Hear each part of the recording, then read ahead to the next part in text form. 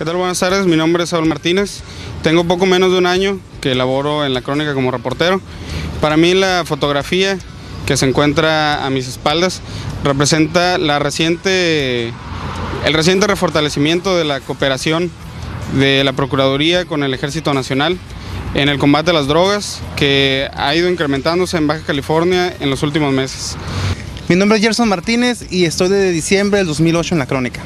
Esta imagen representa que el periódico La Crónica también está abierto a todos los aspectos que le interesa a la ciudad, como los espectáculos, el arte, la cultura, el deporte, al igual que las noticias y la información.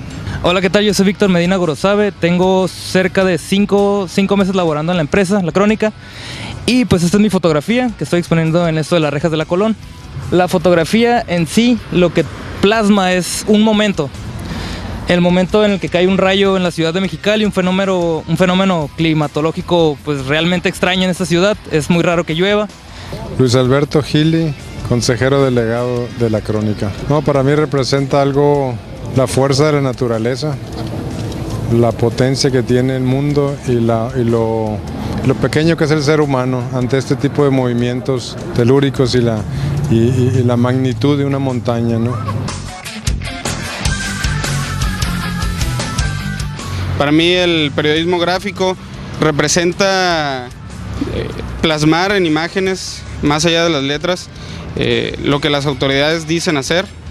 Eh, el deber de un periodista, de un reportero gráfico, de un reportero, es eh, corroborar que las autoridades hagan lo que dicen hacer. Y en este caso, pues eh, vemos en las rejas de la Colón un poco de ese trabajo que hemos hecho durante 20 años. El periodismo gráfico es capturar en un instante parte de la vida cotidiana, de la realidad, que después podrá evocar esos recuerdos, emociones y sentimientos que a lo largo de la vida lo puedes observar a través de una imagen que es fija. El periodismo gráfico es plasmar ese instante, plasmar ese momento de realidad en el que pasa un acontecimiento y a través de tus ojos puedes demostrárselo a las demás personas, en este caso a la gente que lee el periódico o que visita el portal web. Para mí es, el captar la historia diariamente, el captar este, cada, cada segundo, cada tiempo de la vida, lo que estamos viviendo, dejar la huella, que vamos a decir nosotros ser parte de la historia, que somos parte de la historia cada día, conforme vamos, va pasando el tiempo y que estos tipos de imágenes quedarán para otras generaciones. Extiendo mi más atenta felicitación a la Crónica por 20 años de labor informativa, 20 años haciendo la diferencia en cuanto a los medios locales y 20 años eh, que esperamos se tripliquen eh, para seguir dándoles la calidad informativa que hemos venido trayendo hasta hoy.